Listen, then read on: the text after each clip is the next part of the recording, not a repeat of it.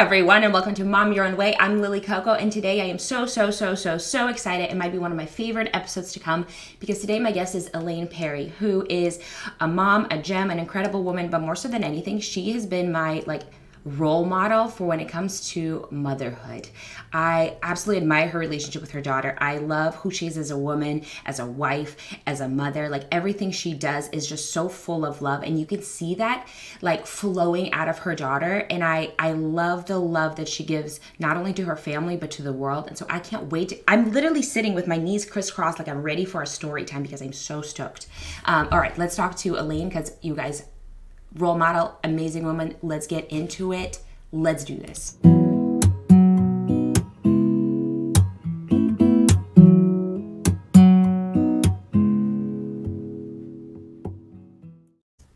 Hello, Elaine. You look beautiful. Hi. Hi. I don't know if you heard me earlier. I'm literally sitting crisscrossed like a little kid, excited to chat with you. I uh You were, we were so sweet. Thank I, you. Thank I, sweet introduction. but it's true. It's absolutely true. The and I'll keep saying this over and over again, but uh, as I mentioned before we hopped on live, the love that flows from Emmy, I know stems from the love that you gave her as a kid, the affection, the respect that you gave her. You can just see it flowing through her and her relationship and socialization skills. I mean, I met Emmy and you guys was it five years ago? Eight years ago? No, more. Um, Man, how old is she now? She's like a teen. She's 17, Oof. going to be 18. What the heck? I mm-hmm. met her as a little girl. I mean, yeah. she was like 11, I think, right? Maybe? She, I think you first met her when she was nine. Man. Isn't that crazy? That's like so. She's about to be an adult. Yeah. I hate that, but I mean, I hate that and I love that. I bet because you're like saying bye to the baby. Of course, she'll always be your baby. But welcoming this new adventure of this, like, I want to say new best friend as an adult, but you guys seems like you've always been best friends. We are best friends. And I find it so funny that, uh, there's so many people out there or like those you know those mommy blogs that say you can't be your child's best friend and I think they're told, I mean, just my opinion, I think they're totally wrong because who in the world could know that sweet little person that you brought into this world better than you? Yeah. And who wants the best for them? And who would give them, you know, advice from the heart that would lead them in the right direction to where you hope you would want them to go? So, Absolutely. yes, I am proud to be her best friend and I mean, I I don't apologize for it. and you shouldn't. I mean, you, seeing that and hearing what you have to say about it, you can see that that actually works. I think the problem is maybe people have a wrong definition of a best friend. I think they connect it to mm-hmm. being like a pushover and letting the kid walk all over you, but you shouldn't even let your best friend do that. You should have a best friend you should be able to trust them. They should be able to tell you when something's wrong. They should be able to be honest with you from the heart instead of always saying, yes, do this, yes, do that. Like if somebody's doing that, they're just a yes man, yes woman, not a best friend. And so I think it almost comes down to you should start looking for better best friends if if that's your definition of it. Because I, I think you're absolutely right. You you create you bring this beautiful person into the world and you know each other's heartbeats. You literally know anything and everything about that person. You you try to guide them and teach them into this world and and along the whole time they're teaching you so many things so you're kind of mm-hmm. both like reborn and you're growing up together and you're learning together yes there's the age difference of course and so you have more experience but aside from that the things that you learn along the way you're learning them together and i i so want true. everyone i want all the moms to be best friends with their kids I know I can't like push that upon people and be like, you need to do this. Yeah, and it, it's so funny because I've had like I've had moms go, you have such a strange relationship with her, and then on the other hand, like a couple years down the road, they're having issues, you know, with their child, and I'm like going, well, if you just took a step back and weren't as, you know, as not not necessarily mean, but as strict and as as and not necessarily there for them Yeah. And you may have a different relationship because what you want to cultivate when they're young is you want someone who's going to come to you mm-hmm. through um, every hardship and every concern that they have because they know you're going to be there. Yeah. And and you know, it gets different as they get older because you know, when they're little, they look up to you and everything you'd say is absolutely magical and you are a princess.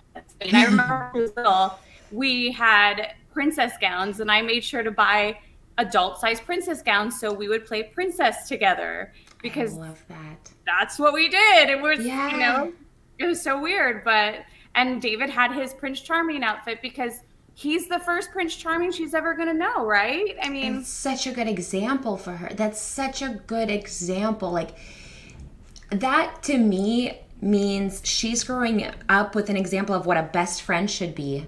What a gentleman should be, as her father is to her. She gets to see this beautiful relationship between you and David as well. So, knowing what love, what marriage, what all of that goes into it. And being able to be silly with her. Like, that's when she, you know, now she's growing up, she's going to be 18. And of course, you'll always be her best friend, but she already has her other friends. And like, you have set her up for such success because from this relationship that she knows with you, she has high standards and high expectations of what to expect from a best friend to not be lied to, to not be talked down to, to not be disrespected by anybody. And whether it comes from a best friend or a female figure or a male figure, because of course, if she's dating or whatever, you want her to feel respected, loved, appreciated as a partner, as a best friend, and not in any way anything else. Because I think if we grow up with those relationships within a family that, like, let's say an authoritative one, then we think that's normal. And so then if we get into a relationship with a male figure, then we think, oh, if he's being authoritative, it's normal. It's like, well, that's not the way to show love. It's just what you've used, it's what you're used to, maybe.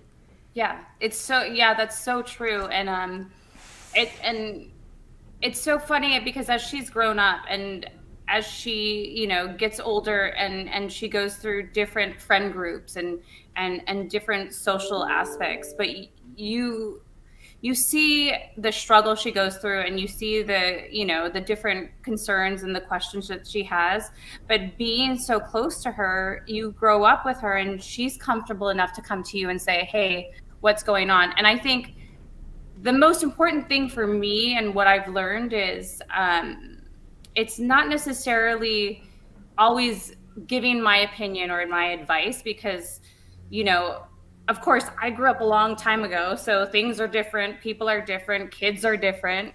The world's um, different. The world, the world is crazy different right now. Yeah. So I always approach a conversation with her and I just say, do you want me to hear what you're saying and just be there to listen and give you a hug after? Because I'm happy to do that. Or do you want my opinion? And do you want me to try and fix this? And mm. I'd say 90% of the time, she just wants me to listen. Wow. And and that's when you foster someone who's actually going to be open with you and not keep secrets from you. And that's so so important I think nowadays because I think that's where a lot of times kids can go down the wrong path because they're not really open to you know talking with their parents or or feel safe or feel like they're not going to be judged or they feel like they're going to get in trouble so if mm-hmm. i do mm-hmm. this i don't want to tell anyone i'm not going to tell my parents and they're going to be getting in mm-hmm. trouble yeah I oh, love- oh, I've told Emmy. I say if if there's ever a situation, we have a code word. I don't know if you've heard of this, but I love this already. Our code word is Malibu. I shouldn't be saying this because, but not that anybody's going to hear me say yeah. this about her. But anyway, um, so if she's in a situation where she feels threatened or in trouble or or she just doesn't feel comfortable, you know, with the people she's around or at, she can just text me Malibu and then I'll call her back and I'll say, Hey, um, there's an emergency here at home and I need to come pick you up right away. Are you okay with that? Done. She's not embarrassed. I know she's safe. That's All is good. Amazing. That's literally the definition of a best friend. Because if my friends and I used to do that. Like if you go um, out on a date, it's like you send them yes. something. It's like, oh my gosh, get me out of this date. Like I don't know what's going on. Can you call me and get me out of this? You know, like you trust totally. your best friends to help you in those situations. And the fact that she can trust you, her mom, to do that, to make her feel safe. Because I think that's the big part of being a mom is making sure your kid feels safe and they feel comfortable to come and talk to you. And I love your advice about okay, do you want me to sit here and listen? Because sometimes we just need to share stuff and vent it out. Or are you seeking that advice and some sort of a hint, whether it may work for you or not? Are you seeking some sort of advice? But I think that tip is, I mean, that's good for any relationship with your significant other, with mm-hmm. any family members, with your friends, because sometimes that's what happens in communication is maybe we're seeking to be just heard, but somebody just comes back at you with all of this advice and you're like, dang, I feel like I wasn't heard. I feel like you're just trying to solve all this stuff, but maybe I'm not looking for a solution. I'm just looking to be heard. And that's exact and that's exactly where I got that from was um Dave you know David, sweet David. He's you guys are amazing. he's amazing and I am so blessed to have him as my partner in life and um we I mean, he's just he's perfect for me. But you guys are amazing. I I admire you guys' as marriage. I admire the parenthood. I'm just such a fan. Like I'm literally a fangirl of how you're raising your family. I think it's oh. such a like beautiful example because I know it's something she's gonna look upon and and see and know that that's what she deserves and that's what she's gonna get and she won't settle for less. She's not going to let anyone do her any harm because you taught her and showed her examples of it in real life. It's not like you just read her stories and said, hey, this is what happens in these princesses, but in our life, this and this and this. Like she gets to see it real life example of this princess story because you and him will dress up for her and put a real life love story, family, and togetherness that she gets to see day in and day out. Like I, it just blows my mind of how beautiful that is. Oh, thank you. And another thing to tag on to David. So we were talking, and I, I noticed that this was before Emmy. He would just like immediately come at me because he's such a techie brain. So he would immediately go, "How can I fix this? I want to make her feel better." And I would just go, "You need to stop. I just need you to listen." Mm. You know, and and he eventually like got that advice and started taking it, and it made me feel so validated and heard and and that's where i got it with emmy. I'm like if i want to be heard and if i want to not you know have someone come in and feel like they can fix everything then i have to do that for her because she needs that sounding board. She needs a sounding yeah. board to for someone who's not going to judge her who's going to want what's best for her and who's going to you know do everything in their power to make sure that you know no matter what happens she's going to feel loved.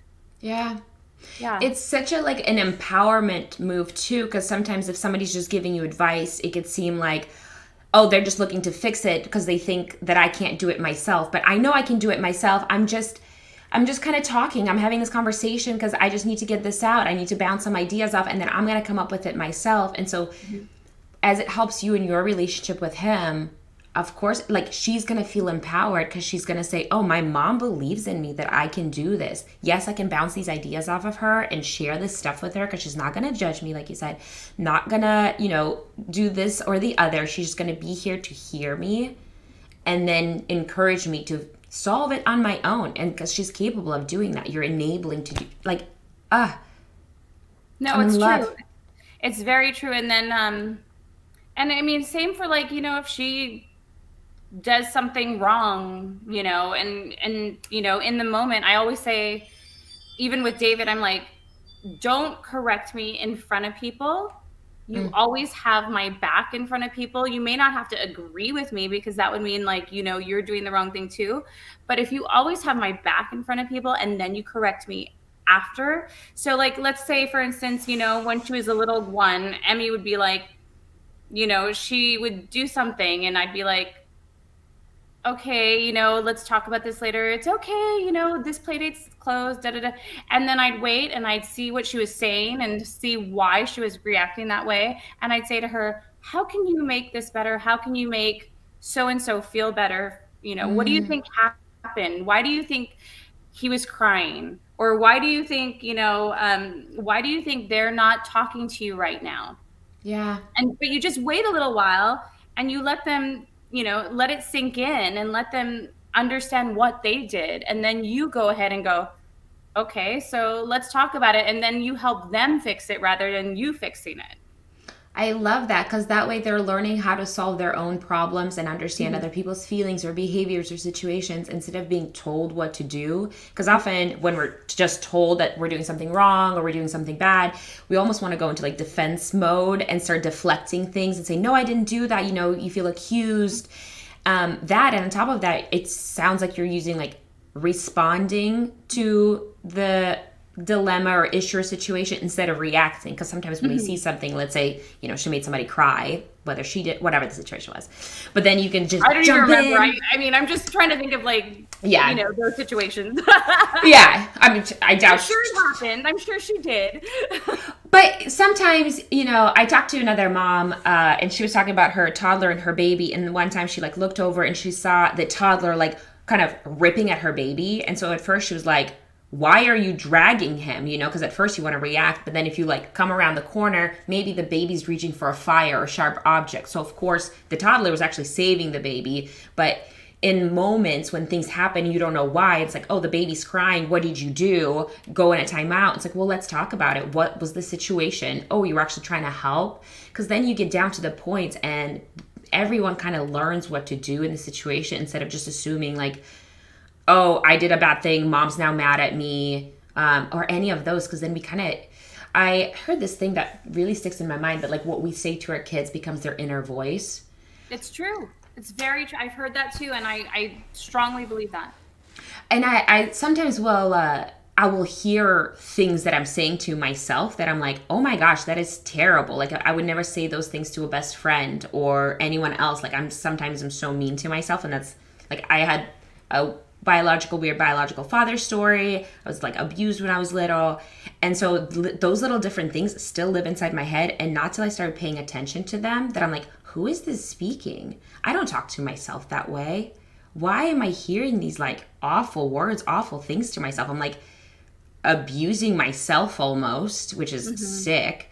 But i want to make sure that the things that i say to my daughter that she hears encouragement that she's strong she can do it she can do it all. And like let's take time to figure things out. We don't have to react immediately to things.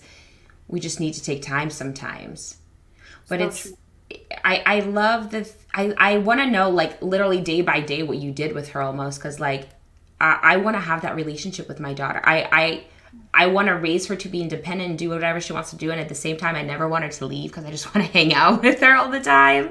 And, and so I so want to. Same. I don't want her to leave either. And, and, what's so funny? It's funny that you say that because we're discussing college now. And oh man, like, yeah. And she at first, you know, this was before COVID. She's like, I'm really thinking Cambridge or Oxford, and I'm thinking, oh no, my heart, you know. Then, We're gonna have to move. yeah, and um, but recently she, I mean, actually just this morning she came in and she goes, you know, Chapman has a really good film school, mommy, and she goes, and I could drive there, and then I could come home to you, and she goes.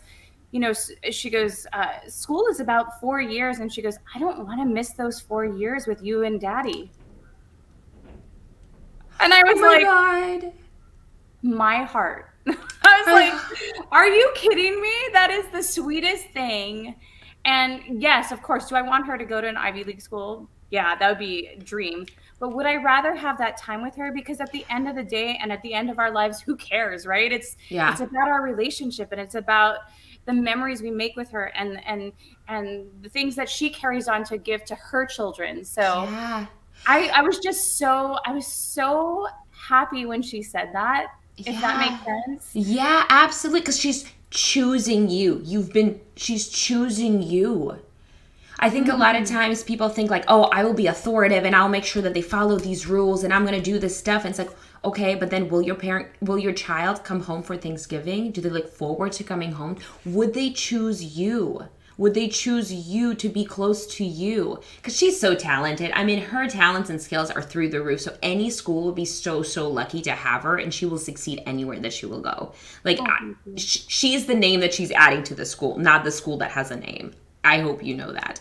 Oh, thanks. I mean, she's, uh, God, she's, she's so amazing. And you know her, I mean, you know this as her mom, but like, she's smart she's giving. She loves to share and just smile. Like she she wants to make others happy. She wants to make sure that everyone's having a good time in a really like kind and like safe way. Like she's just like pure joy. Like she just walks in and you're like wow you are really happy.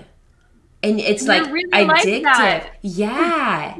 Yeah no it's true. It's so true. And she's so transparent about it. Like the sometimes you'll see some people and there's like a heaviness behind it you know? Mm-hmm, mm-hmm. And sometimes we put on a different mask depending on how we act with certain different people.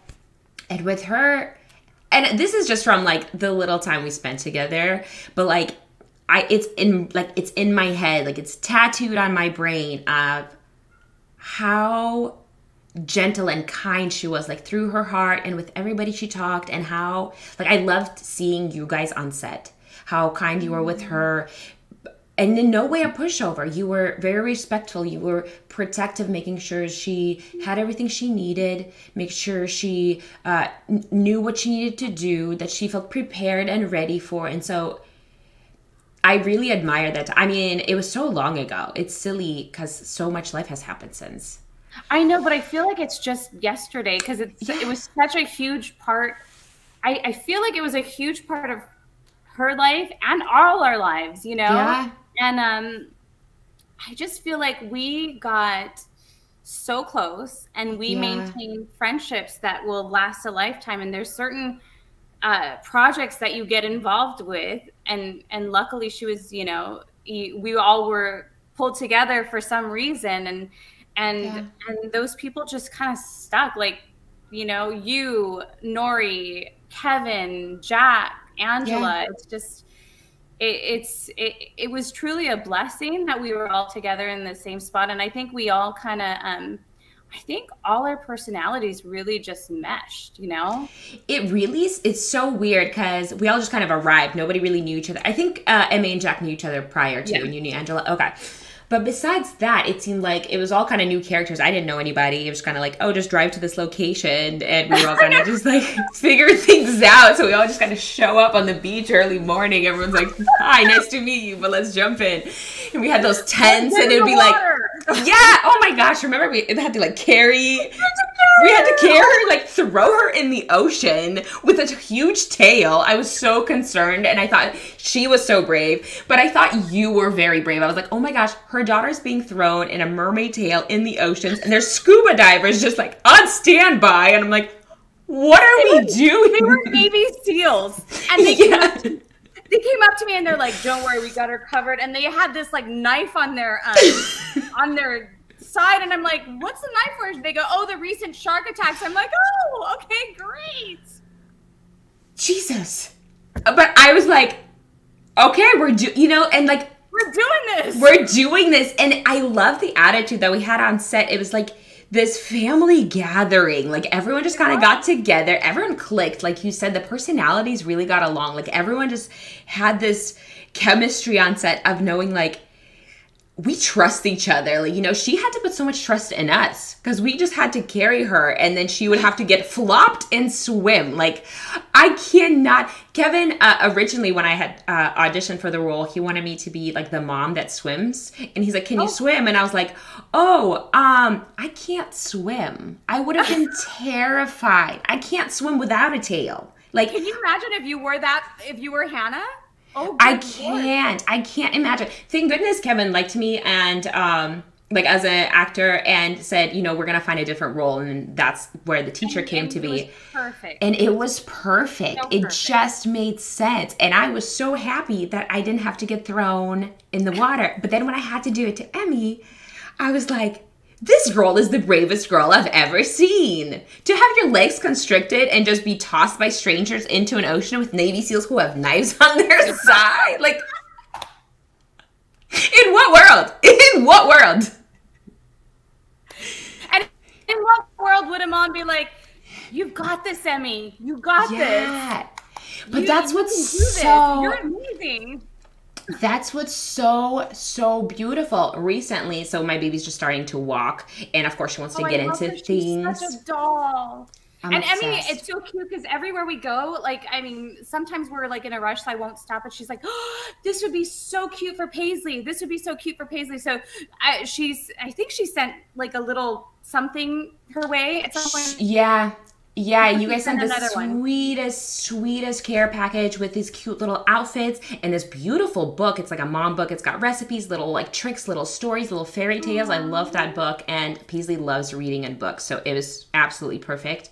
Uh, oh, oh, she's starting to walk now, and she's starting to move. She's she's really just on the go, and I'm I've learned that when they're in risky play, you don't want to say like be careful because that kind of just instills fear and it doesn't it's vague it doesn't actually tell them what to be careful for it's like oh, either watch your step or this could be sharp you need to be specific but it it also just instills this kind of fear yeah. of regular things and instead you want to kind of either be quiet so they can focus on the task at hand because they need to concentrate they need a lot of concentration on get mm-hmm. like you know put one foot in front of the other or the encouragement kind of works. You know, still give them that time to focus on it, but also support them because they can do it. And I've noticed it with my little girl. If she's struggling with something, she'll ask for help. And then if she, I'm like, oh, do you need help with this? Or do you want to try doing it again? Because you got it. And as soon as I say, you got it, she goes, I got it. And she, she does it. That little, little push, little encouragement. Magic she feels, word. yeah. And she feels like she's ready. And she takes on these things that I'm like, girl, you are impressive how are you doing this? And then it's, you just feel that like support, that encouragement. And when it comes from your best friend, like Emmy's having from you saying, you know what? They're going to throw you in that water and you are going to do great. And she, you and may she flop around and you may flop around and the wave may hit you a bunch of times and you may have to do this for a couple hours and be freezing, but you got this. I mean, what strength in yeah. that girl. She yeah. said, "Okay." And she but I I promise you she knew she could do it because she had you by her side and she because you've built this strong relationship with her where she can trust you and be open mm-hmm. with you and she knows that you're not going to send her in the wrong way. And so she knew, "Hey, nothing can go wrong. If anything, my mom's right there."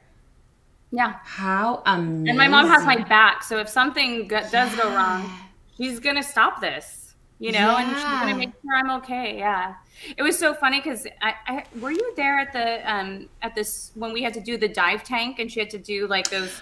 No, but tell me about it because I heard a little about it. It was like a big Shark Tank where she had to like kind of learn to swim, and I think she filmed with Hannah at that point, right? Yes, and it she had to she had to free dive fourteen feet in the water. Yeah, that's three of me. On with her tail on and she's like, I got this, I got this. And I'm like, you got this, you got this. And then behind the scenes, I'm like behind the monitor going, yeah. And she literally goes down and she's like, I got this, I got this. She just took a, and she didn't learn how to, you know, take care of her ears, you know? Mm, okay. So she comes out of the water after an hour and she's like uh, she goes my ears just hurt a little and she she says to kevin she's like i just need some tylenol a glass of water and i got this and she go he's and he's like well do you want to take a break? And she's like no. And she goes she goes uh, do you have gaffalding tape? And he's like yeah. And he goes she's like i just need to tape up my feet. She pulled out her feet and they were totally ripped raw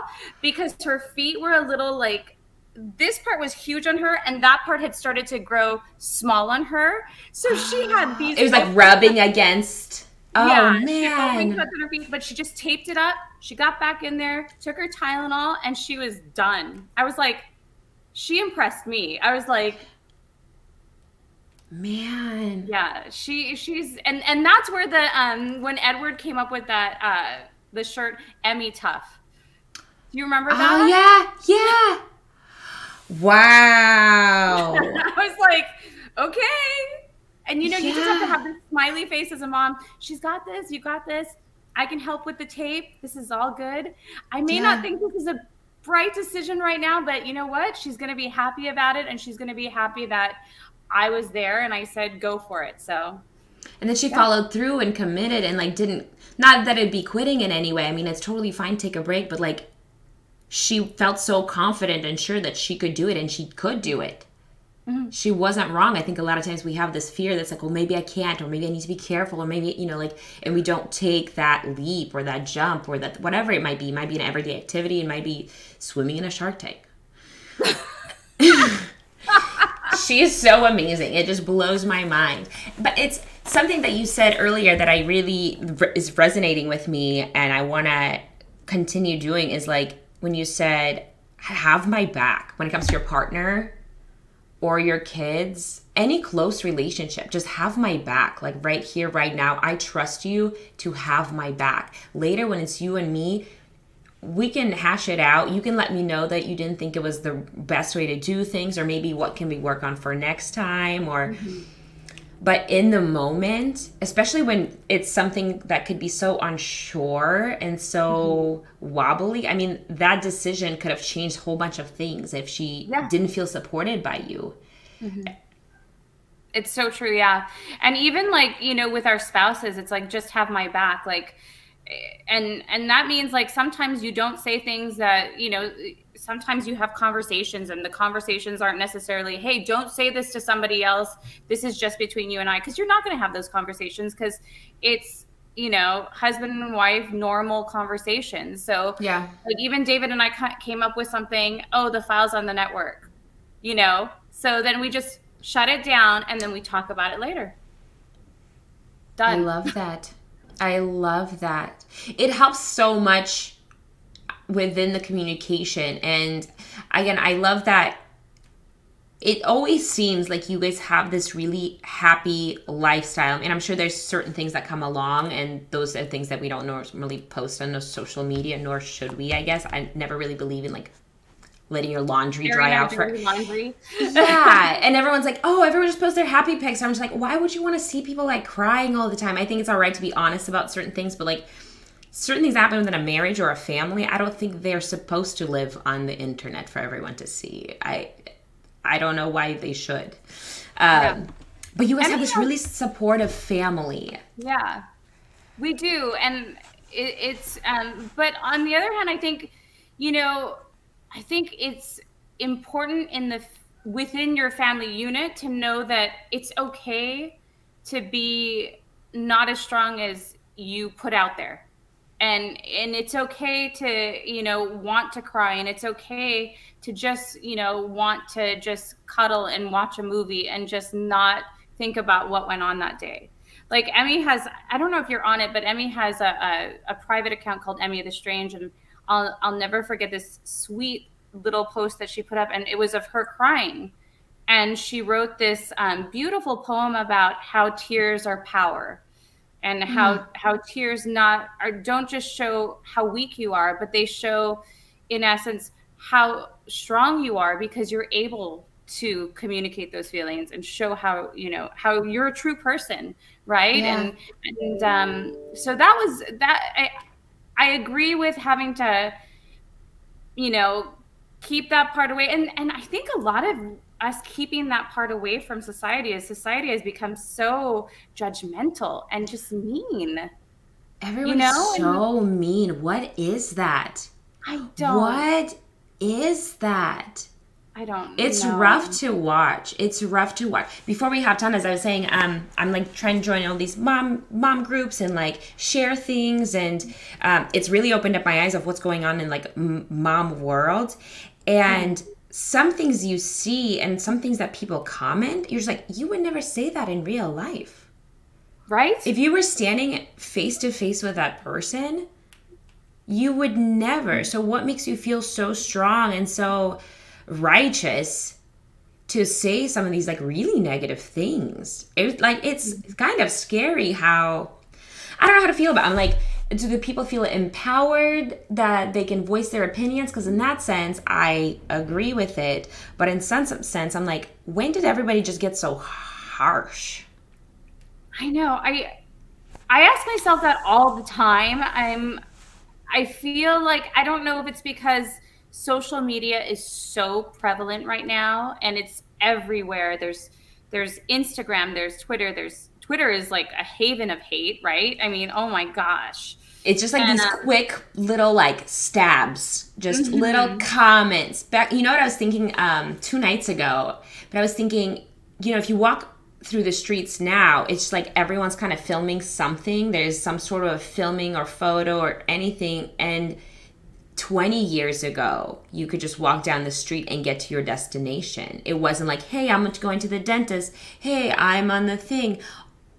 So, on one side, aside, I'm like, man, it's weird how much has changed. And then there's just all of this content. But on the other side, I'm so happy for it because some things I love learning from and certain, like, I love following Emmy. I love seeing what she's doing. I love seeing what you're doing. And so, in that sense, I'm like, so happy that it's available and I can stay so connected without like calling you guys every week, just checking up on you all the time. But like I can see what you guys are up to, and her birthday party was so beautiful, and like, thank you. Just yeah, I did that in two days. Oh my did god! Did you really? Yes, because we didn't know what was going on because of this whole Omicron thing, right? And so yeah. um, I'm like, okay, Emmy, what do you want? And she initially she wants a vampire ball. I'm like, okay, that's not gonna happen, but thank you. I love the idea. I love, I love that it's like an idea for like a high school prom, you know, like this it's a really big idea for an entire high school, but she's yeah. so creative that she's like, this is what I want for a birthday. I I love that girl. It, yes, and and you know her 16th was uh, she wanted a movie on the lawn so it was so was, beautiful. And this was stark in the middle of COVID. We were so strict with different um, we had to have it out on the lawn we had to you know make sure there were only most 30 people so mm. i was like okay you know what this is her sweet 16 and and i you know i had a cool sweet 16 so i'm not going to let her suffer because this whole world is bringing us all down. I'm going to make it what it can be and yeah. be as beautiful as it can be. And she's just going to have a wonderful memory from it. So we did that. And, you know, the people who showed up for her and all her friends. And um, I wish I could have invited every, I wish you could have been there. I wish I could have invited everybody. But like having 30 people, I'm like going, who do I invite for this? Right. So, yeah but so then her 17th i said she's like oh mommy you did so much for my 16th party. You don't need to do anything for my uh, uh, 17th and i'm like what? I gotta do something. And so i'm like calling around. I'm like okay tea party. Let's do it.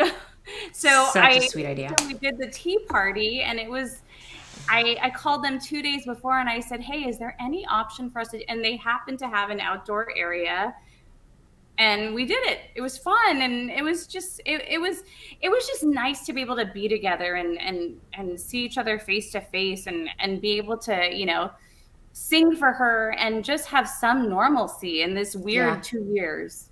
Yeah. I feel i feel bad for everyone who's going through all this stuff and having to deal with it. It's a lot of confined things. People don't know if they're going to be able to work. They're stuck at home. People can't go to school. I feel really bad for kids because it's they want to be out and about they want to be doing things and it's so restrictive and then the learning's kind of online and so it's just a whole mambo jumbo of things um, and so it's just been a real kind of trial period for a lot of people.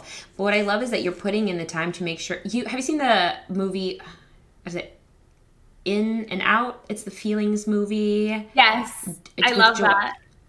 Uh, what is it called? Out inside in, out right? Inside, inside out. out inside yeah. out you know how they talk about the core memories? Yes. When somebody builds a core memory and that what those are the moments that really define them. That's what you're doing. You're creating these core memories with her. Not not just for her, but with her. And so they're core memories for you, but for her, this is what's deciding who she is as a person. She's growing up with like this love and so and a mom who says you know what through all of this we're gonna do what we can and this is going to be in her memory forever. Like she might not remember the little things that are going on but she can always look back and say like oh my gosh we had these amazing like time the celebration to see people and be with people. And it's not necessarily about like oh it's so big and like it's just the people who are there and the time that you guys are having like that's the important things. And those are the core memories that she's going to have that's oh you know off subject I wanted to ask you because the way that you are a mom is again so spectacular to me. But is that the way you were raised? Did you have that as an example, or is this something different? You know, it's so funny that you say that. Um, my parents were divorced, okay. and um, they divorced when I was one, and okay. um, so I was raised until I was twelve by my grandparents, who were the most loving uh, most caring, giving, selfless people I have I could ever, you know, imagine in this world. And um, then my dad got remarried when he when I was 12 and I had this abusive stepmother. Wait, tell me more. Yeah, so she was not kind. She was very jealous of me. She just she would lock me outside of the we had double gates and she'd lock me outside of the uh, outside of the house prior. And i think a lot of who i am is i think there's two paths you can go when you experience that kind of trauma or that kind of you know sadness in your life. You can either choose to be like that person and go down that same road or you can go i am never ever going to make my baby feel that feel unwanted unloved and um, and I chose the second. And I'm like, she is going to have all of me every day as long as she needs me. And, and even when she leaves, she's going to know I'm still a phone call away because I didn't have that growing up. And then my mom, uh, God bless her soul, she passed away when I was 30. Um, she had a problem with alcohol. So we we we when we loved we loved hard and when we fought we fought hard and mm. um, and i think that's why i'm not really a fighter because it's just it, it just brought so much sadness and so much anxiety and just and and this just harsh feelings about you know my parents that and i i adore them now and i and i i love them and um I, I miss my it's the funniest thing is I miss my mom, right? I, I really do because as bad as some parts were, there were so many amazing, great parts, right? Yeah. And I am who I am because of what I went through. And yeah. I am very grateful for what I've been through because I was able to persevere and be a stronger person because of that. And maybe had I not gone through that, I wouldn't be this way. Yeah. So I, and- I'm okay with that and that would also reflect then on the way that you would be raising Emmy, because literally the way that the love that you want to pour into her is a reflection of the things that you, I guess, wish happened to you, or making sure that the other, you know, flipping it yeah. from the way you were raised. It's so interesting. I one of the things I was kind of intimidated by is like I don't know if it's real or not, but you kind of hear that like mothers and daughters can be really combative. There could be a lot of either jealousy or like comparison, or there's some mommy issues that kind of happen. And um, again, if they fight, they fight hard because usually they're like too similar or you know anything like that. And I I was trying to navigate the waters because I want to make sure that we I I don't want any of that with my daughter. I I I don't want any of that. I've heard some things that's like, oh, well, once she's like more prettier than you or whatever. I'm like, oh my gosh, my daughter is so much prettier than me. First of all, she's smarter, prettier, better. Like I, yeah, like wait, what? yeah, I was so surprised when I heard that. I was like, what are you talking about? This, it, First of all, I created her. Of course she's prettier. exactly. Thank I you. that. yeah. And I, I want her to be smarter and better and funnier and more creative and like, because I, I, I want to pass down anything and everything I know that she's willing to learn. And then she's going to have, and more. Like, I, I want to give her any and every opportunity that she wants to have. I want to encourage her in anything she wants to explore. And like, I, I want to uh, pick her up and just carry her like the wind just anywhere she wants to go and protect her from anything. Um but i but then i'm like maybe that changes. Maybe it's something that i'm just you know f- romanticizing as a new mom. Because you hear things like oh when they're a baby they're fine but the terrible twos come around and the toddler stage preteens and they get so terrible. I'm like i don't want to feel that way. Is that is that what happens to all moms? Because to me i don't think that's something that you faced but if you have, I want to know how have you gotten through it? Because I want that relationship that you and Emmy have. I want that with my daughter. I want her to Aww. I want her to choose me when she's choosing I'm gonna cry. I want Aww. her to choose me. I want her I want her to feel so loved. I want her to feel like she can do anything. Yeah. And I, I, I'm gonna learn, I'm gonna make mistakes. But I just wanna know the best way to hold on to this magical close relationship that we have and I want to I want to be her best friend mm-hmm. forever. I want to I want to have what you and Emmy have. You know, honestly, we gosh. I think it's really just building up that strong bond from the beginning and I think you're doing that, you know? And um just re-emphasizing to her and not only saying it but just doing it and being there for her. And because at the end of the day the person who's gonna she comes home to you is you. And she she wants to see that no matter what you're saying or what you're doing during the day you're still going to be the same person to her. And have we had issues? We've we've had issues. Have they been all out drag out teenage junk? No.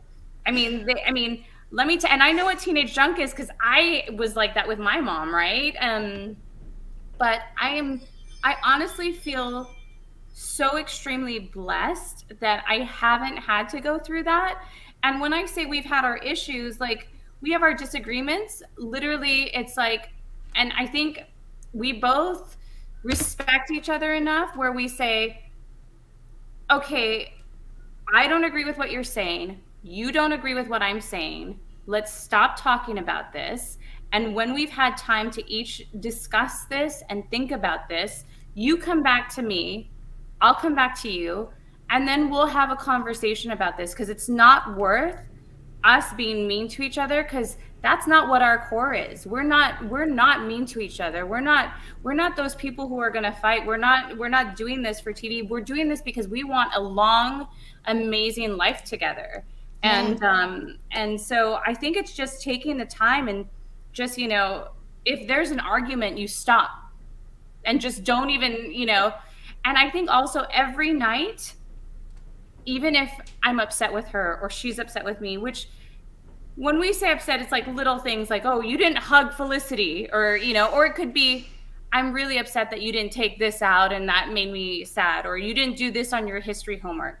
Because at the end of the day you want to make sure everything's good. You want to talk it over. Like, and we always have conversations every, I'm not kidding, every night before bed because we we talk through the whole day. We talk through what went on with her. She comes to me, "Mommy, what did you do?" I I just want to know what's going on. And then if something happens, that's when we discuss, "Hey, you really I was really hurt when you said this." Now, you may not have meant that, but what you said made me feel like this. Yeah. Am I getting this the right way? And then she'll go, oh my gosh. And I'll tell you about 90% of the time, she's like, I didn't mean it that way. I was just busy and I was doing this. And mm. because teenagers are in their own world and they're so, they have school, they have, they have their social, you know, problems. Like life and friends and yeah. life and friends. And, and Emmy has her auditions and she's, you know, stress with this and and doing all that but it's it's going i think it's really taking the time and saying hey you know this is what i heard. This is how it made me feel. Now i want to really know are is this what you meant by this? And if it's not what did you mean? Yeah. Because then we can move on from it. Mm-hmm. and i mm-hmm. think if if if people are reactive like you had said before that's when you get into those big drag out fights like you said this and I can't believe you made me feel like this and that but you just have to go, hey, you know what? She had a hard day. Yeah. Or mommy had a hard day. What's going on? Why would she do that? Mm-hmm. And I know she loves me. I know she didn't mean to hurt me and it certainly didn't come from a bad place. So let's talk it out. Yeah. I think that's good advice for anything. I I I'm at fault of that because sometimes when my husband's busy, he'll just kind of uh, express things a little bit quicker, and mm. uh, I'm sure through like hormones or whatever, I'll kind of take it a little bit more emotionally, and I'll get upset. Like, why would he say that? And like then late, yeah, and then I'm n- not even that, just like more of a tone thing where I'm like, oh yeah. And then if I bring it up to him, then he's like, well, that's not what I meant. And then I get stuck on, well, that's what you said. And he's like, yeah, but that's not what I meant. And we'll go back and forth on this. But at the end, if we just actually sit down calmly and because if I d- don't let it rest a little bit, I'll get in my own head about it of like, well, you, you said that, so you meant this, and he he loves me. He's my best friend. Of course, he would never mean me any harm. Yeah. But I I just get into like a defensive thing and I'll kind of roll with it.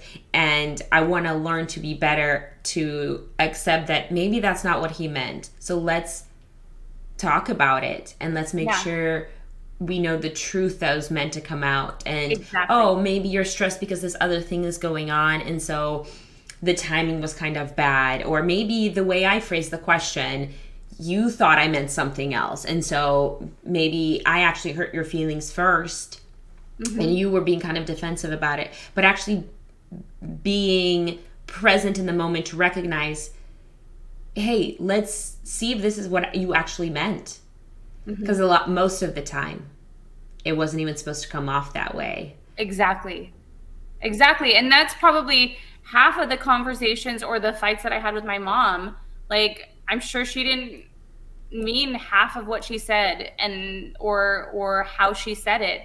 And i took it that way. And like there's you know now that she's gone i'm like oh my gosh you know looking back i'm thinking she said this. And i remember that day and i remember what happened. And i'm like going now that i'm an adult i'm like going she had a really hard day. She was working all, you know, at, at, her nursing home. She worked with Alzheimer's, and she comes home to deal with me, and I'm having an issue with macaroni and cheese. like, what? Like, come on, Elaine, give her some, give her some slack here. You know, yeah. it's like, I mean, it's just. You just have to take time and you have to realize that we all have our own way of processing things you know? And yeah. and and she may and emmy may process what i'm saying a different way than what i'm trying to make it come off as. And that's huge because i don't want her to feel like you know i'm on her case or or saying something mean because i'm probably not. I'm trying to make her a better person. But in the moment and what i actually said and the words i used may not have been the right ones for her. Yeah. Because we all communicate differently. Yeah it's so true. I also like the fact that you said, you know, taking that time when you know to that you must kind of agree to disagree, which I think mm-hmm. just Huge. it's a magical phrase, but I think it's gone out the window in society. It's like people are so eager to disagree and fight about it and get really so true, so sad. Yeah, where I'm like, wh- why is it not okay? When did it become not okay to have different opinions or just people almost don't treat other people as humans. They kind of get really abusive with words and say things and just like that's another person. You don't know how their day is going. You don't know what that comment might affect them in what way. That could be the last straw for them. Like they you know, you never know. And yeah. it, it just saddens me from certain things that you see and how angry people get and how upset they get and you know, there's been families that like split up and I mean, it's just it's rough. But I, I like that you take the time to focus saying, hey, we might not agree on what you're saying or what I'm saying right now, and that's all right. So let's take some time, let's filter it through, let's think about it, let's try to understand the other person's point of view, and then come back. And if we don't agree still, that's all right. We don't that's need to okay. say bad words to each other or see it coming from a negative way, because that's not always the case. Just because you disagree doesn't mean like oh, I hate you. What you're saying is stupid. No. And that's just, the other thing. We've never, hate is not allowed in our house. I love that. It's just, it's, I will never, ever come to a point where I hate David, ever. And I would never come to a point where I hate my dogs or I hate Emmy. So yeah. we do not allow hate in our house because that word doesn't exist in our love. Yeah. If that makes sense. It just doesn't yeah. exist because if you really look at what hate means, right? It's it's one of the worst things you could possibly say to someone. Yeah. And and so and you can't really come back from that. Like if you say something like that to someone, you can you can come back, but it's never really going to be the same. Yeah. You know? So that's one thing we swore, and this is David and I from before we had Emmy, that word is not something that is in our vocabulary. We just don't use it. I love that so much. It recently came up because somebody had mentioned something. It's like, oh, well, she might hate like vegetables, and I got stuck on that word. And I'm like, what if she just never knows the word hate? Like, if how would she know it? You know, like if we don't talk about it, we don't introduce. If we don't hate things, because sometimes it's used for like things. Oh, I hate books, or I hate like we, I don't hate anything or anyone, and so I can't imagine myself saying it. Yeah. But I I don't want it to come off and I don't want it to come as an easy word like, "Oh, I like this, but I hate this." Like you can dislike stuff. Yeah. That's totally okay. Or it's or it's not my favorite. Yeah, that's all right too. But to yeah. hate something, like you said, it's such it's a so it's such a painful, hurtful word. There's this metaphor that I've heard being used with trust. If you take a plate and you break it, you oh, can yeah. put it back together, but it'll never be the same. It's mm-hmm. not that same plate. And so I think as trust, that word hate is kind of like that. If you throw that word, you can apologize for it, you can do certain things, but like that's one of those that kind of just gets tattooed on you and you're like, yeah, but you did say that one time. Like did did I really piss you off that much? Did this thing, you know, and you start questioning yourself, which is oh, the yeah. last thing we want for our kids is them questioning themselves, I would think. Yeah. No, you you just I mean, you just never want to say that. I've it it would be it's just such a sad, harsh, hurtful word, you know, and it's just like it's I and and the funny thing is I never ever used that for my parents despite what I've been through. I never hated them because I always, you know, I always wanted to know better from them or I always wanted to understand why they did what they did or or or make it, you know, or make it better or make it feel like it wasn't it wasn't because of me kind of a thing you know and and and as i grew older of course i learned that right because I, I, they were young when they got married and and and they went through a lot of hardships and and and their relationship wasn't strong and and that's another reason I David and I, I he asked me to marry him and I said to him, "Oh my goodness." I said it took like 20 minutes before he got an answer. I said, oh "I I said, "Is this forever?" Cuz I don't believe in divorce. And I said, "If this isn't forever and you're not willing to work at it, then my answer is no." Wow. And he's like, "Okay, um and then we had a conversation when he asked me to marry him, and I'm like, oh my gosh, I am that person. But it was important. You yeah, know? you're specific. You're actually, I would think that makes things easier when somebody's specific and vocal about what they want. Because then it's, you know, it's clear. Yeah. There's no like hidden stuff or you're trying to do something else, something sneaky or whatever. It's like, this is my expectations and this is because it's not only for you, but it's for the kids, the beautiful daughter you guys didn't know you were going to have at that point. It's like because she gets to see that example of love and how people treat one another. Like that's in front of her every single day. I want to learn that. I want to be better at not taking things personal because I think that's one of my flaws is when something happens, I carry it as, oh, I must have done something wrong. When most of the time it has nothing to do with me, but like certain, you know, in my childhood if like my parents at that time had a fight or whatever i, I would think oh i must have done something wrong and you i, I take that. it on myself um, and i'm trying to let go of those things because i find myself doing it now still with small things mm. you know like oh if the dog is barking oh i should have done better to make sure i left the door open and now i didn't now I woke up the baby and it's my fault and i'll sit on it and kind of let it uh, again that really negative self-talk that isn't beneficial nor is it correct like uh, I wouldn't let anyone speak to my best friend that way. I wouldn't let anyone speak to my daughter that way. So why am I letting myself talk to me that way? Because if I want to be the role model and example for my daughter, I want her to see me talk to myself in a positive way because that's what I want her to do. Because I can't just say, "Oh, you need to say kind words to, in your head to yourself." I need to make sure I'm showing up for myself and being an example that I'm trying to be. Um, yeah. But it's just one of those things that I I really struggle at making sure not to take things personally, and kind of separating those things and. Um, I guess I'll come with time. I I question a lot of things. Yeah, I, I, I think I I think so, and I think I think honestly, you just have to. um I don't know if like you know, I don't know if it's time or it's just you know realizing that you are truly like a treasure and and everything you've experienced in life makes you who you are makes you that amazing mom. So in the moments that you feel down on yourself or you feel like oh my gosh i should have done this and that's why this is happening you go yeah but you know what? I did that. I make a body butter line. I i have a podcast. I'm doing this. I'm an amazing you know kick-ass mom and I want to be a better mom. Yeah. That's why I'm doing this.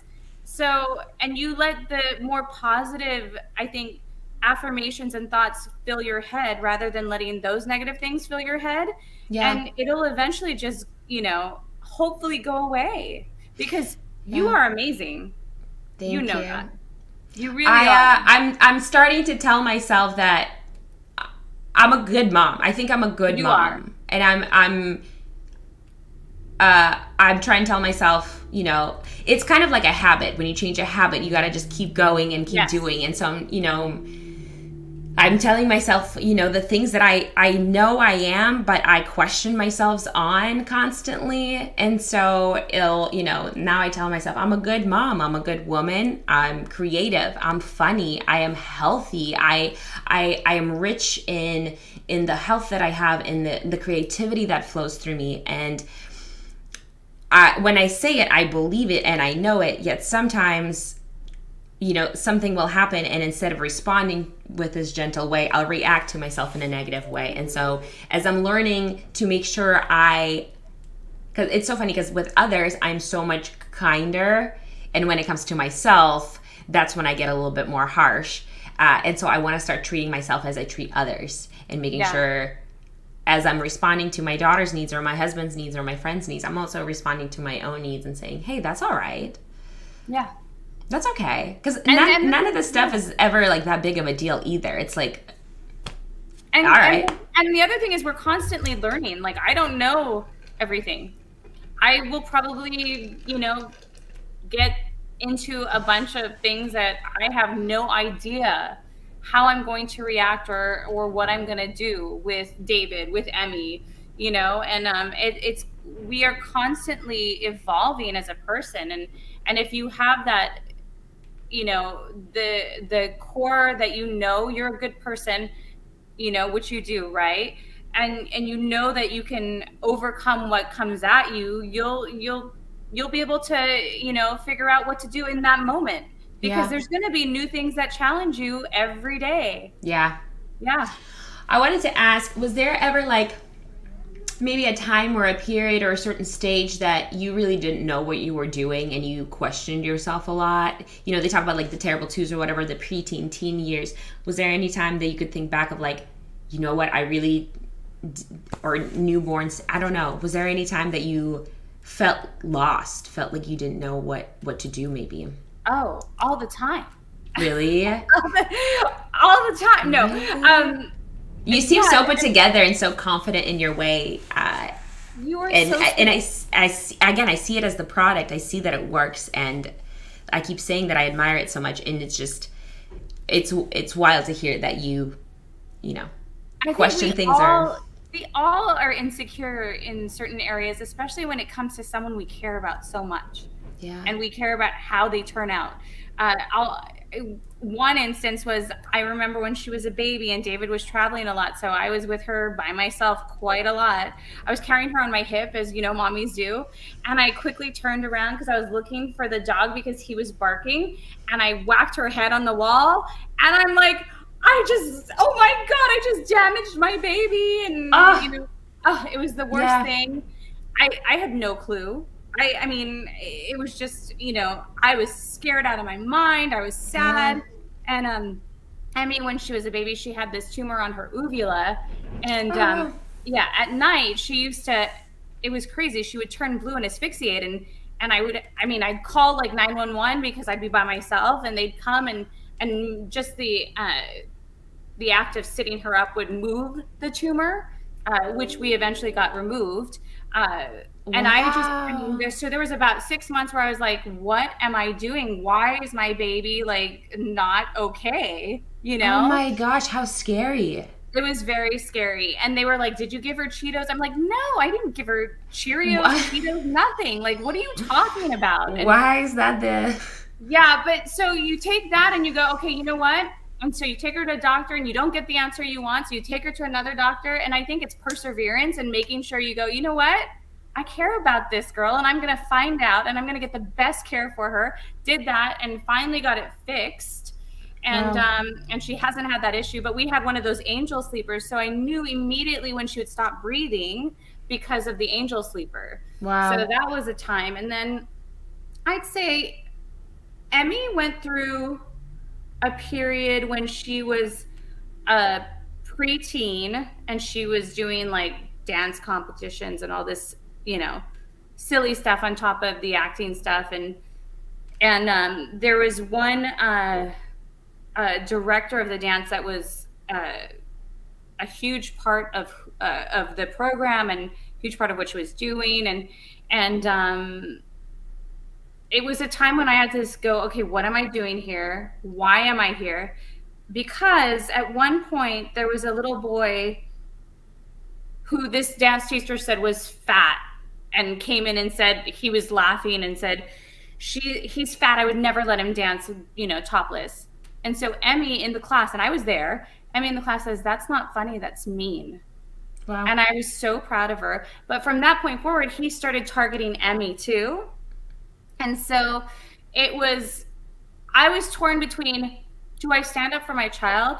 Do I stay in this situation where I think she may benefit from dance?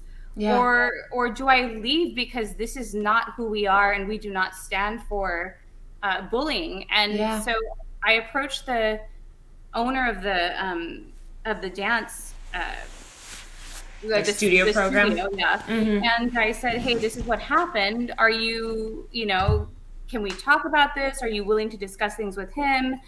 And um, she's like, "No." And so I said, "Thank you so much. It's been great. We appreciate it." But I said, the important thing to me is that Emmy has the love of performing that she's gotten so far. And I do not want something, you know, that destructive to take away that love.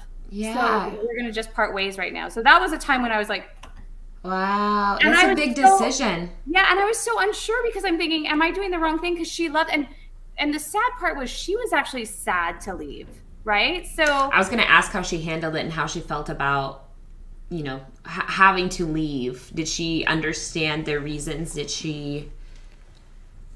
she she understood but she was still sad and um and so it was just it was just you know filling her with positive actions and positive outings and and better friends who had uh you know more for her and yeah. and who understood her heart rather than someone who was going to break her down because yeah. that wasn't that wasn't positive and that wasn't a good place for her you know and yeah. And I think you made the right choice because you know who knows what that person could have said to her that could have damaged, like you said, her love for performance or her love for dance. She could have, you know, stopped performing, stopped dancing because it could have been something so hateful that mm-hmm.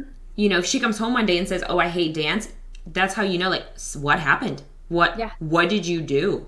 What yeah. did you do to my sweet girl? Like, but you avoided that and you protected her from from her ever saying no to something for her you know like that's but that would be so hard because you know how much your kid loves something so to say like hey we can't go go do this anymore i mean that's one of the hardest things you'll ever encounter and i hope you never do but it, it, it's pulling them f- away from something they feel they absolutely love and they and they have this whole social circle right? And yeah. and and but you just know that it's it's breaking them down inside and and and in the long term that's not going to be great for them. Yeah. So yeah that was that was a huge struggle and that was something david and i had discussed and and he kind of came to a decision before i did mm. but of course i had to be the voice of it so i was struggling and and trying to make the most of it and and and and do it in the best way possible and um and I'm and I'm happy I did it now. And and Yeah. you know what? And I'm I'm happy that we didn't stay there because who knows who Emmy would be now. Yeah. You know, she may be she you could know? be hating all that stuff. Like if something happened and if she got traumatized by the words or actions Mm-hmm. because now the teacher has it against her because she stood up for someone else, like she did the right thing, but of course Mm-hmm. anytime you set boundaries and someone doesn't like it, it's like, well, they're the toxic person. Like they're Yeah. the person trying to do something negative. And so I think you did the right thing by protecting her because it allowed her to continue the love that she has for dance and performing and entertaining all the stuff that she loves that sometimes when certain things happen or somebody says something we we just say we won't do it. I had a mom on my podcast previously and she said she went to college and she was writing she loved writing but her professor said she wasn't good.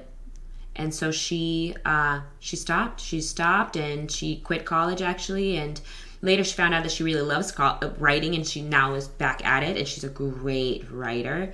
But it's those things where it's like oh just because this this one person had probably a personal I mean, with writing too, everyone has different style. With anything, everyone has yeah. different style with music, writing, cooking. I mean, there's just so many ways to do it. And so when a person comes in and kind of shuts you down with something that you love too, and you're like, man, and if you see that person as the expert, you're going to believe them because you're like, oh, Yeah, well, they must know. And so you'd want to give up and you might not want to pursue it and give up on a passion like that which would be a travesty. Yeah, it would be. And and honestly, and the other thing too is you have to deal with the, you know, your child then and and you know, make it okay that she did react that way and and and you know, say, "Hey, you did the right thing. You it, it wasn't you. It's Yeah. you know, you did the right thing and this is the right thing now because of that happening. It's just not the right place for you."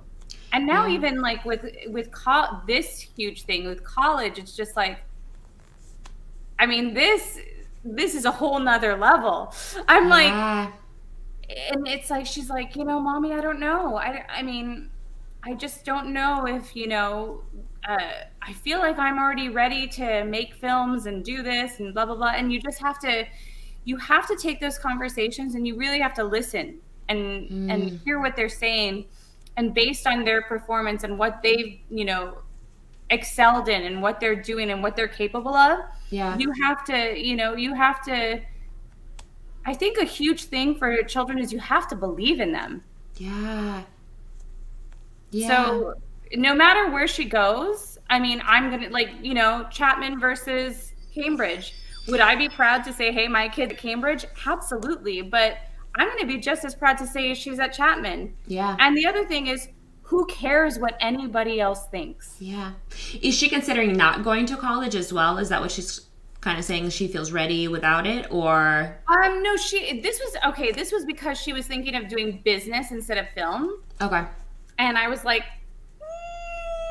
because you know, Daddy's like the techie guy and Yeah. loves the business aspect, and I'm like, and of Yeah. course I did the musical theater, and I'm like, I'd like you to do film, but okay, you Yeah. know? and um, well, and she could so do now- both. She could major in one, minor in the other. I mean, there's different Well, ways. you know, at UCLA, USC, you can only do, you have to commit to one. I guess that's better because then you're putting all your eggs in one basket instead of spreading yourself thin. So Yeah. So at Chapman, she actually is going back towards film, which is great. okay, Yeah. but I I mean, mean, she's such and, a performer, and and she has the- dad right now for business for anything that she might need help with, and through that, I Yeah. think through the experience she can learn. Oh, the other day she was she sat down and she's like, "I'm just gonna uh, work on something today," and I go, "Okay."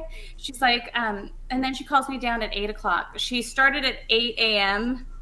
around there, and then she calls me down at eight p.m. She has a full website, Wow. and it's yeah, a full website created, all her poetry, um, a whole bunch of like her artwork. And Oh then a shop where you can buy things with her artwork printed on them and her poetry printed on them. I'm like, did you just learn how to do this? And she's like, oh yeah, I just, you know, thought about it. I'm like- Wow. I'm like, cool. And that's the other thing is giving her the freedom to express herself and and and try things. That's so huge with kids. Don't pin them to one certain thing. Like if you want, you know, if you want Paisley to be a dancer, that's great. This was huge for me growing and when she was growing up.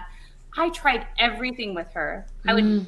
bounce things off of her and just go, okay, whatever sticks, sticks. I put yeah. her in tennis, right? The ball hit her in the forehead. Not her thing. just not her thing. I but you tried it and you know that. yes, and and and the other thing that I, I I told her though, and we tried volleyball, we tried basketball, and there were certain things she liked. She didn't love, but she liked them. And and the thing that was important to me was I. This may have been good or may have been bad, but I told her Perrys aren't quitters. I said, so this is what we're doing. I said, you okay you're you expressed you want to do tennis right? So we're going to try this six week tennis program. She comes home from tennis one day hits her in the head i don't want to do tennis anymore. I go i totally get that and you do not have to do this after your six week period because we're not going to quit this. I said I we signed that. up for this we committed to it we are now a team and once it's completed we never have to touch a tennis racket again. How did she react to that? She's like it's so funny. At first, she was like, "Oh, mom, I don't want to do it," and then I'm like, "Sorry, that's you know that's who we are. We're not." We, yeah. I said, "You don't quit in life." And yeah. now till this day, I'll be like, "I don't feel good. I don't want to go to that." She goes, "Mommy, Perrys aren't quitters." It's so important the things we say to them. Those are the things that stick. These core memories of, hey, yes. my mom told me we're not quitters, and she's going to carry that. She's going to tell it to her kids. Like how oh, yeah. important. Wow. And that's probably why she put that tail on and hopped in the ocean. Yep. You know? Yep. That's exactly it. I still can't believe she did that. I'm so I, impressed by that girl. Oh my gosh. And now she has her own website. How cool. Yeah, it's crazy. Like she did it in a day. I was like, oh, and she this will blow your mind. She wrote her own screenplay. Yay! I Wait, know. that's amazing. Yes. So she, yeah, it's, I mean, it's a full on screenplay with like a love triangle and. Yes. It's, it's insane. It's a fantasy drama. It's so cool. It's called Cloaked. And she hopes to make it like a trilogy and. Yes. And she wants to be, I, I don't know how it's going to happen or if it's going to happen, but we say it is Yes. And we're there behind it. So yes. um, she, uh, you know, she's already working on number two. Wow. So yeah, it's it's pretty cool. It's about and it's so fun. And that's another thing, supporting your child and just you know believing in them. And and I think it's not only supporting your child and believing them, it's showing them and mm. doing the things that make them know, hey, my mommy gets me and she wants me to succeed because yeah. she told me this story about how she wanted to write a script when she was 15, right? Mm. Is, which is when she started writing this, and now she's completed it. Wow. But she said, "I want to do a story on witches, and mm. and you know, I just want to learn about them and and know the history and and see why they were so bad and why they were mistreated, or if they were really the bad ones." So you, so what did we do? We went to Salem, Amazing. and I'm like, "Let's go, let's do this, let's let's dig deep, let's find out." You know, yeah, I'm with you, and and and that inspired more of her creativity and and also a really great family trip for us but she got to learn so much being there so i think it's so important to to when you say you believe in them truly believe in them and like you show know up. yeah show up be that person and if they say hey i want to you know I, David's really good about it. He's like, oh, she's like, I want to, you know, take my driving test he immediately goes on, sends all these links. This is what you need to do. This is what. Blah, blah, blah, she immediately goes to the you know web, the email, and does everything. It's like, wow. yeah. But it, I think it's important to not only tell them you're there for them, but and believe in them, but do it. Yeah, and that's something the, the role model example of we don't just say we're going to do something. We we do it.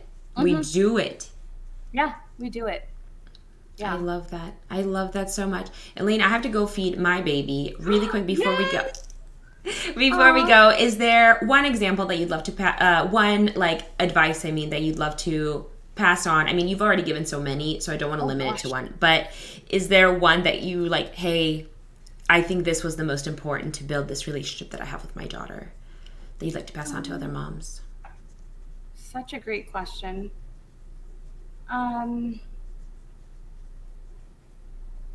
I think honestly, just show them every day, and even if you're not saying it, just show them that you love them in different ways because they'll remember. And when you think they're not listening or they're not watching, they are. And hmm. be that example of love that you want them to continue when you're gone, if that makes sense Yeah. because you know like even just you know her with her rescues foundation and and everything you know how i treat the dogs is going to be a prime example of how she acts towards dogs which Yeah. is amazing now and and if you know how i how i handle situations with david she's going to be like that when she you know grows up and and is with her partner and um, That's gonna be weird when she gets married. That's gonna be crazy.